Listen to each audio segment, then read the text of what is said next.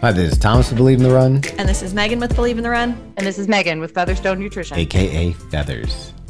And you're listening to Fuel for the Sole podcast, the podcast where we chat all things nutrition and hydration for performance. And some other nonsense sometimes. Definitely other nonsense all the time.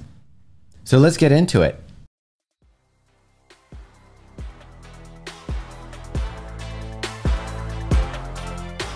So before we dive into our listener question, let's talk about our sponsor, Inside Tracker. Thomas, what is Inside Tracker? Funny you should ask. Inside Tracker is an ultra personalized nutrition platform that uses blood work to create one of a kind, science backed action plan to help you reach your potential for better performance and a longer, healthier life.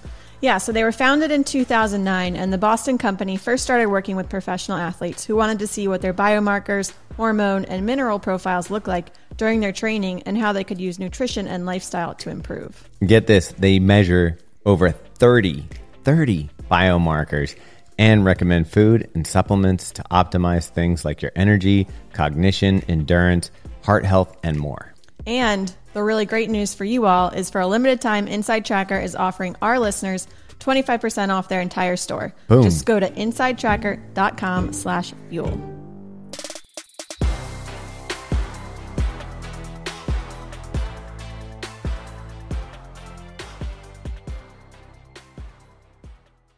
Today we have a question from Allie about race day nutrition. So let's take a listen. Hi, my name is Allie, and I'm planning for the Wineglass Marathon and need to make sure my race day nutrition is right. Is five Maurten, so one every five miles, a good amount, or is that overdoing it? I hope to go sub four hours. Thanks. All right. So What- five Maurtens, one every five miles. First of all, Do you know what this reminds me of though? what? Like I just saw a post that Allie Kieffer did where she laid out her Maurtens and she was doing regular caffeine, regular caffeine, regular caffeine. And I was like, that's a ton of caffeine. How's your head not pop off? Okay. So first of all, let's chat That's it. race day, race day nutrition on timing versus mile markers and how much and yeah, all that. Yeah, is it better to do time or mileage?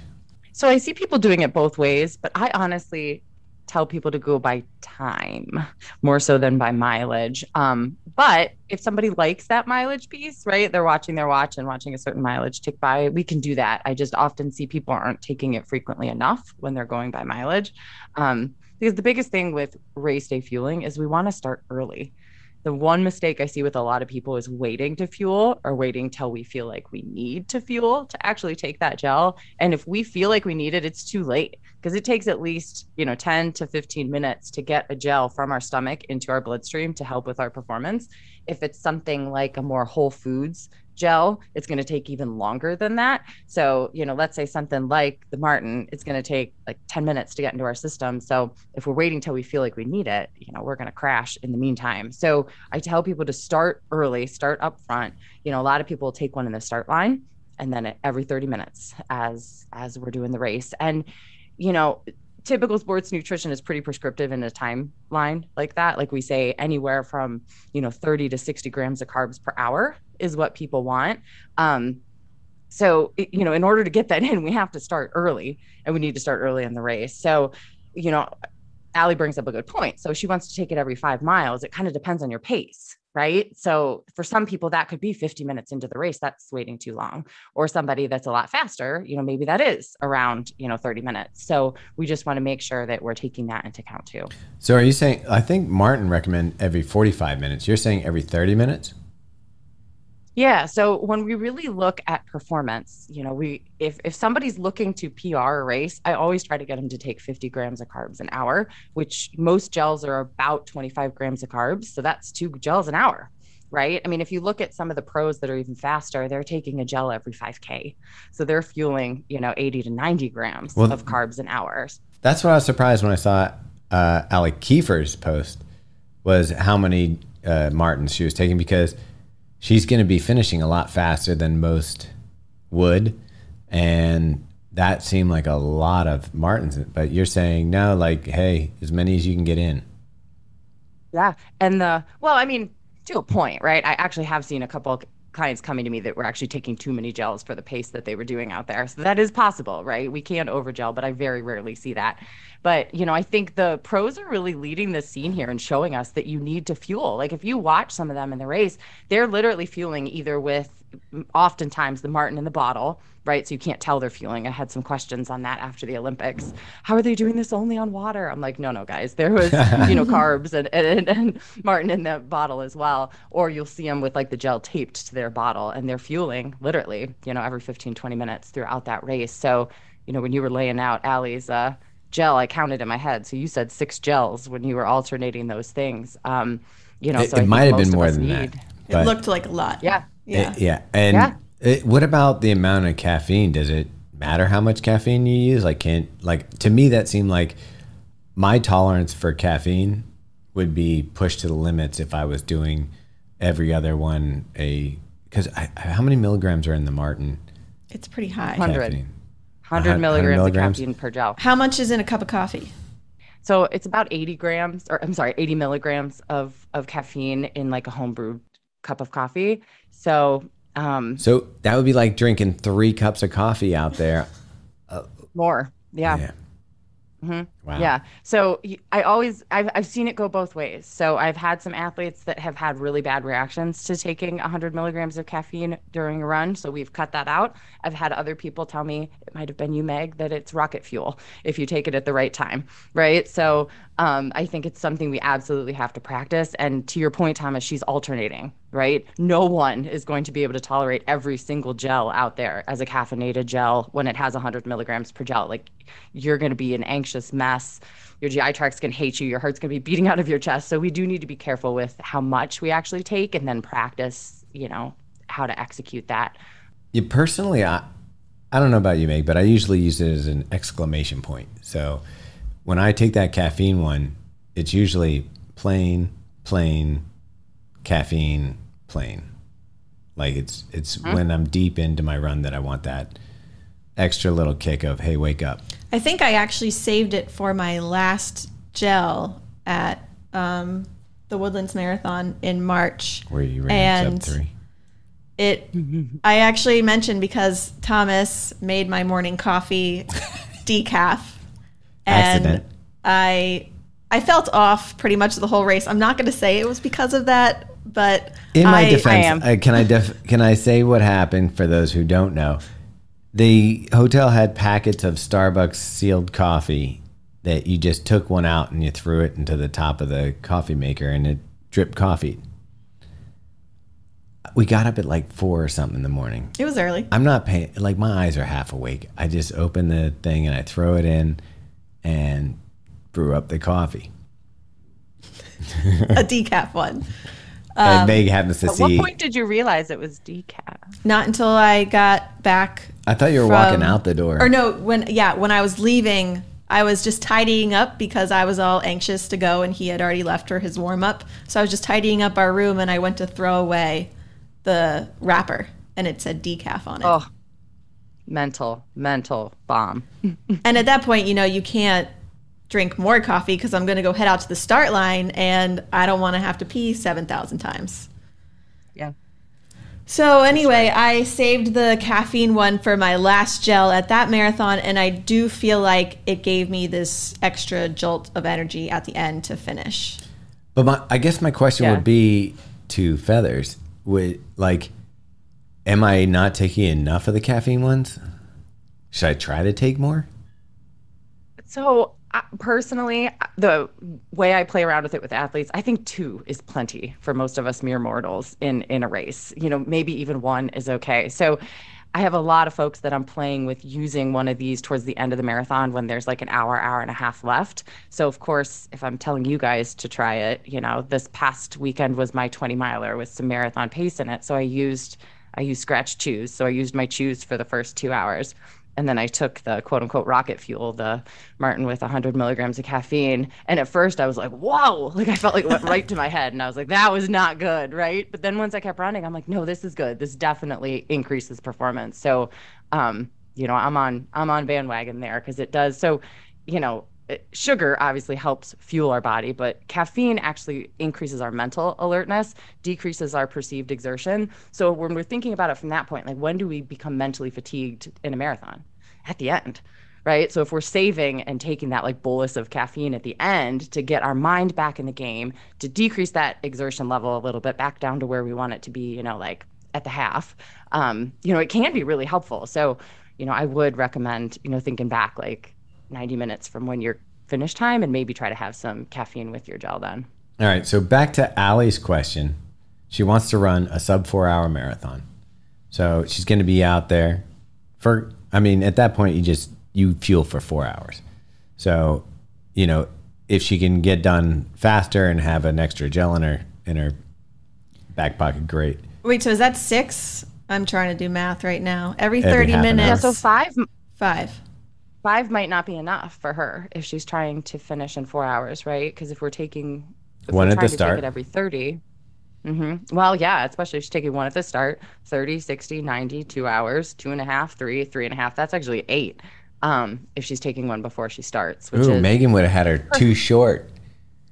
Yeah. So you know, honestly, I think if we could get her to do one at the start and six during, so both Allie and anyone trying to run a four-hour marathon, I think if you if you carry six gels on you for the race, I think you should be good. And I always tell people another reason we want to fuel early is because I think we can all probably think of a race where maybe we had a, the 10k left and our stomach just turned, right? Like the thought of taking fuel over those last six miles was maybe out of the question if we wanted to keep running in a straight line and not to a bathroom um, or just feeling nauseous. I mean, that's very, very common. When we are pushing our body to PR pace for a long time, at some point our stomach might be like, nope. And that's because all our blood is going to our muscles. We don't have very good perfusion to our GI tract. And depending on how sensitive our GI tract is, some people might have issues at the end of the race. So rather than feeling like we have to force that and then you know cross our fingers and really hope that nothing bad happens from a GI standpoint we can be like hey I fueled really well starting at 30 minutes I'm going to be fine to rock out this last 10k without anything else so you know it's really an insurance policy if we start early too So I have a question about that kind of related. This past weekend, I was also doing a long run and had a big chunk of marathon pace in it. And I packed my gels and I planned when I was going to take them, which was 5, 10, and 15. And I forgot to take mine at 10. And I looked down at my watch and it was 13 miles in. And I was like, shit. And so I took it at 13. And at this point, I'm starting to feel a little fatigued because I have like seven miles at marathon pace on my legs. And then like 17 rolled around, and I was like, should I take another one, even though I just took one like not that long ago? Or I think it was even earlier than that, like 15 or 16. So I tried to take another one, and then I spent the next few miles feeling like I might vomit.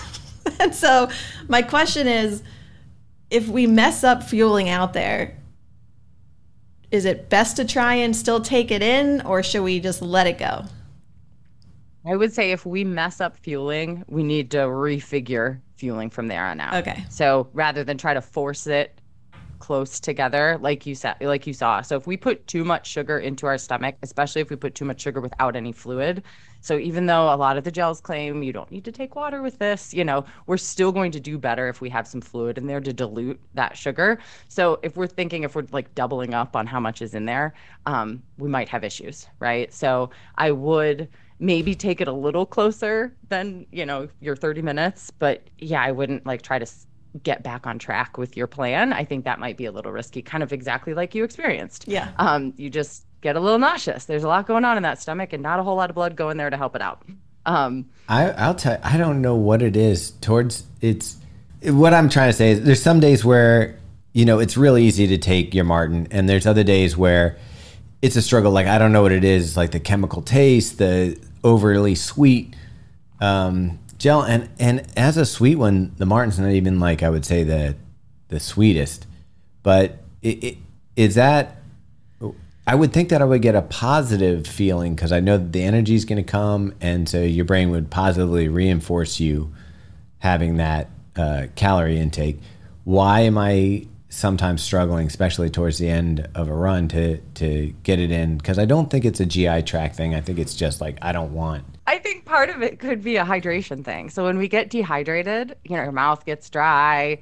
It, just the thought of taking another gel is just like, ugh. And also flavor fatigue. So you say, you know, Maurten doesn't have a flavor to it but it's just kind of bland, yeah. right? So you can kind of get sick of that. So I have a lot of athletes that alternate. They'll do like the Humagels and a Maurten and a Humagel and a Maurten. Like I'm pretty sure I'm going to do Skratch chews and Maurten, like kind of back and forth so that I don't get that fatigue. But some people don't mind. I mean, some people will rock out the exact same flavor of the exact same gel for, you know, 20 weeks of training and then on race day. So it's just finding what your preferences because the one thing I see time and time again with my athletes is they aren't fueling right? They're not fueling enough for race day. And a lot of times it comes down to what are you going to be willing to take out there yeah. on a run, right? And we got to find what that is so that they actually. And the other question I guess I would have is most of the racing clothes are limited pocket space. So you're talking about for Allie here, you're talking about what we said six six, six Maurtens. That's not a tiny bit. That's like a bandolier of of Maurtens at, at some point. What do you what do you recommend to people to use to hold their nutrition during the race? Yeah, it is a total pain. I, I, agree. I think a lot of people wear a belt. I personally cannot stand anything Same. around my waist. So, um, yeah, I think a lot of people are that way. So, at least for females, they make a lot of sports bras that are actually like double, and then you can pull one layer out so that you can like shove fuel literally in the front of your sports bra. And honestly, I think that's one of the best places because it doesn't really mess with your stride, right? Your arms are up, you're running, you're running, you pull out your sports bra, you grab some chews, you grab a gel, and you're ready to go. So, I think for a lot of people, that can be helpful, or sometimes in the back of the sports bra. Um, or then there are a lot of shorts that the waistband is almost a pocket all the way around, both guys and girls, right? So that you kind of have a couple different spots that you're putting them into. Um, personally, if I'm running a cold race, I shove it into my gloves. So I wear like a really tight, like $2 pair of gloves from Target, and I'll put it like in the palm of my hand. And you don't even notice that it's there, and then it's warm when you take it instead of it being frozen if it's really cold out. It's like Spider Man, um, but with Gail. So I think, or yeah, right, right, yeah. No, I mean, I know it sounds weird, but I think it works really well. So it's just kind of finding like where you don't mind and where it doesn't chafe too, right? So before the double sports bra, I do. Yeah. I, I, like a belt, and I found um, some people. Uh, one of my friends, he likes the SPIbelt, but I find that bounces a lot because you can get, especially if you had six Maurtens in it, it's going to be bouncing. Um, so I kind of like the FlipBelt because it's flat and you can tuck tuck a fair amount of um, gels in there. And typically, I try to have, you know, I know that the caffeine's on one side, so it's like as I work through them, mm. I know sooner or later I'm going to hit that mm-hmm. caffeine one. It's a good idea, and I think it's easier for guys to wear some of those belts because they're straight, right? Like female that has hips, it's just really easy for it to like scoot straight up on their waist. Um, so I think it's just you got to practice again. You know what what works. I can't stop thinking about the fact that your marathon was cold enough that you got to wear gloves. I know. It was amazing. It was 28 degrees at the start line. This was the Indianapolis? Mm-hmm. In 2019. It was beautiful. It was like exactly my perfect. I still sweat. I mean, don't get me wrong, but uh, it was, it was I'm, wonderful. I'm got my fingers crossed for a fluke 30 degree day. Oh, I mean, I'll take like high 40s and I'll True. be ecstatic. Yeah. Like, I mean, yeah, we'll see. But anyway, back to fueling. Let's say someone is totally against the sports nutrition products. Can you fuel with real food out there?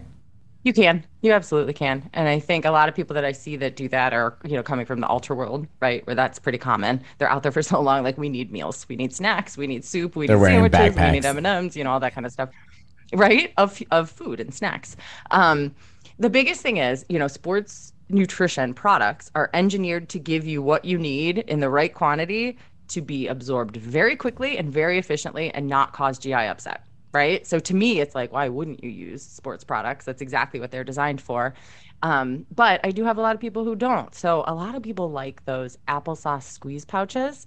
So my biggest issue with those is it's a huge volume to get in enough carbohydrates. So I mean, we were just talking about how hard it is to stuff six yeah. gels yeah. into some somewhere. Plus, you look like you're, you're getting dropped off at preschool.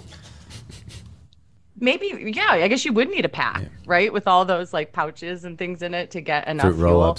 Um, right? Well, some people use like um Swedish fish or candy or gummy bears I, or I've seen know. the Swedish fish, but yeah, the the thing is that those are great for you know trying to keep it real, I guess. But the Swedish fish don't have the sodium added to them. They don't have like when you're looking at a Skratch chew, for example, versus a Swedish fish.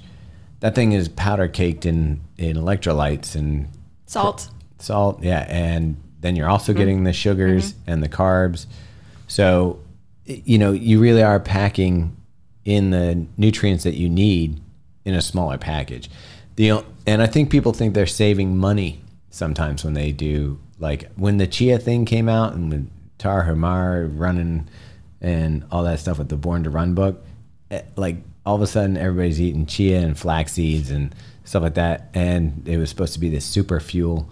And I I I've tried everything and for me the concocted super fuels work like they're supposed to Well, and you bring up, yeah, you bring up a good point, Thomas, because we have different, get to be a total nerd, we have different ways that we absorb carbohydrates in our body. So we have multiple different carbohydrate transporters, right? So, in order to really maximize how much fuel our body can absorb and use at one time, we want different types of carbohydrates. So that's why you'll sometimes you'll see sucrose and fructose and maltodextrin all of those types of things are absorbed a little bit differently. So these sports products are engineered to have the right balance of those types of things so that we absorb them the fastest with the littlest GI upset. For example, like fructose, if we have too much of it, causes a lot of GI upset in a lot of people. So if we're doing something like dried fruit that has a ton of fructose in it, we might actually cause ourselves some issues. So again, just more backup that these engineered fuels are actually giving us to Thomas's point, the electrolytes, the types of sugar, the balance of sugar that our body actually needs. So, I mean, that's always my first recommendation for runners. We've been talking about Maurten, which is our preferred choice for out on the race course. But one thing I didn't realize was that the Maurten has basically no or very minimal sodium. And I am a very salty sweater. So the last race I was continually taking in Skratch. Are you choosing to take the Skratch chews for that reason, or do you just prefer them? I just prefer chews, truthfully, because to you know, Skratch chews have some sodium, but they still don't have a ton. Um, so you know, a lot of times we do have to rely on our drink to get those electrolytes, or they do make some gels. Like Huma makes a plus version that has a ton of sodium in it, right? So like if we need that, we can find them out There. i like those tablets the chewable tablets from um, The salt, salt tabs? stick Or- yeah. Salt stick makes it chewable. They have a watermelon flavor and they have like a lime flavor. And it's kind of like a chalky salty like chew. Uh, like for me yeah carrying extra stuff on race day is a super pain like to try to pull a tablet out of a little plastic bag while you're trying to do your max pace is kind of you know tough. But you know i think if you think about it this way it's like penny wise pound foolish if you slow down for a second to get that salt in and you don't cramp up and don't um, dehydrate it's worth that extra maybe three or four slow down seconds that it's going to take you to you know get get it out of a plastic bag Right. And the same thing with um, fuel. So I have a lot of people that like don't take fuel well when they're running. And I'm like, then step off to the side, suck that gel down and get right back at it. Right. Like that's how important fuel is. Like, yes, we can practice and learn to do it while we're running. But if you haven't mastered that yet, there's nothing wrong with that. Or if we need to walk through a uh, water station, you know, before I carried my own handheld in races, I used to have to like take like three steps of walking through each to make sure I got the actual fluid in my mouth and not all over my face, right? So I think those are the things that are going to save us if we don't get too dehydrated, if we stay on top of nutrition, and we just need to be flexible with what we need to do to get our bodies the nutrition it needs because we're all a little bit different. Like, don't worry about looking dumb, right? I mean, I literally carried a handheld for 20 miles of my sub three marathon. You know, like that's not normal. That's probably not how most people did it, but that's how I needed to do it. So I did, you know. So, you know, don't be afraid of what you're supposed to look like out there. Like, make sure you have I the fuel and hydration. I don't think it's a, a fear of always how you look. I think sometimes it's a matter of I'm trying to go fast here. Uh, having a water bottle in my hand, mm, is that going to slow me down? Like, you know, that kind of stuff. Like, Mm-hmm. obviously, it worked out for you. But in all these things, I guess you have to test. And even when we're going back to Allie's thing, she needs to test on her long runs and on her workouts how many of these gels she can ingest and still feel like it's a positive thing. Um, Meg, are you going to run with a water bottle? I think so. I just, it makes me nervous. I'm such a salty sweater. I would prefer, I think, to have the confidence of the Skratch in my hand and just have a little extra weight than to feel like unknown of what could happen out there. They're only like 24 bucks. It's worth just checking, 100%. right? Like for that security. And I mean, think how much money we throw into running. Like, worth it. Worth it. Worth it. So, I mean, I think you bring up a good point, Meg, is it's not just about the the carbs we're taking in, it's about hydration too. So we've all trained through a really hot summer. Hopefully, we're all going to get cooler races this fall. Um, but we still need to hydrate. So, you know, I know we have a great podcast here on hydration. So hopefully you guys have all been nailing it over the summer, but we need to think through that piece for race day too. Are we going to use what's on the course? How often do we need to stop? Are we going to carry something and just make sure that we're accounting for that too? Um, speaking of that, let's say we have our race plan. Like for Allie, okay, she's going to take six gels out on the course. Um, she's expecting a 50 degree day. It's crazy. It's 80 degrees, 90% humidity at the start. Does she Drop. have to does she have to change? Drop. does she have to change her plan? Does she need to factor that in, or is it just stay the course? So the gels would stay the same, but the fluid is going to be totally yeah. different. Right? Run with so a water cooler. For somebody like you, Right. And stop at every single table. And probably, honestly, you know, they put like one to two ounces yeah. of fluid in those cups. You probably need two cups if it's going to be a hot day. Or somebody like you or I who are really salty, like we probably need to put some salt pills in our little handheld, right? So that when we run out of our own fluid, we can take those with whatever's on course. So there's, that's why I always watch the the weather with my athletes because if something fluky like that happens, we're probably not going to be able to run as fast as we want to, but we can do a lot to support ourselves to be able to run the best we can that day. So we just adjust. Okay. We talked pretty thoroughly through out there on the course race day, but let's take a quick little step back. And we kind of talked about this on the last episode of the podcast with taper and carb loading. But race morning, before we actually get to the start line, what should we be ingesting? Like how many carbs do we do we need to take in? How much should we hydrate? And when should we stop? Because as I noted earlier, you don't want to have to pee while you're at the starting corral. That's a good point. So I like people to eat about two hours before their race. Um, most of us need about 75 grams of carbohydrates. So I don't expect that number to resonate with many people, right? So what that would be is like a bagel or half a cup of oats and a banana two hours beforehand. And then if we take a gel in the start line, 50, 25, we got our 75 grams of carbs. So I, I often like to people to kind of separate it a little bit because if we have carb loaded well, we are not going to be hungry race day morning. We're not going to feel like, oh, I need breakfast because we've been, you know, fully stocked. We're tapered. We're not exercising as much those couple days, um, but we need to eat something, right? So, um, you know, grabbing that, you know, simple carbohydrate, whatever we've practiced two hours beforehand. And there's often some race nerves. So sometimes it's hard to get that down. I was working with somebody that gets very nervous before their race. She'll be in Wineglass as well. And um, Pop Tarts are sitting much better for her. So she's watching like an episode of The Office while she eats a Pop Tart. So she's not quite so nervous to get that nutrition in because I've talked to a lot of people who I'm so nervous I can't eat before the race. So we've got to find a way. Like, is it a different food? Does a bagel feel too heavy? Do you need five, six graham crackers? You know, what's that going to look like? And we practice it and then top off that fuel tank, right, with some chews or a gel in the start line. Um, people who are starting a later race, we want to do that same thing, but we're probably going to need like another food in between. So, like, if the race isn't until 10 or something like that, we need like a bagel two hours later another bagel and then right so we just kind of need to take it in two hour increments leading up to the okay race. and what about coffee? Is there is that the same timeline? Yeah so that's the other thing. If we're fully hydrated and carb loaded like we don't need a ton of fluid race day okay. morning truthfully. Um you know if we wake up and we're like oh crap i really screwed that up. I, i'm dehydrated then definitely drink right? But if we've done it right really the fluid we take in in the morning is to wet our whistle and to get us some caffeine. So whether that's eight ounces of coffee, whether that's 12 ounces of coffee, and then an hour before the race, I tell people just sip if you need a little bit of fluids, but like shut down like massive fluid intake an hour before the race. So hopefully then, you know, you don't have to pee on course. Cool. Okay, so then what about afterwards? We crossed the finish line. Hopefully, we nailed it. We got a PR. Do we need to be thinking about recovery foods or is it just go do whatever you want?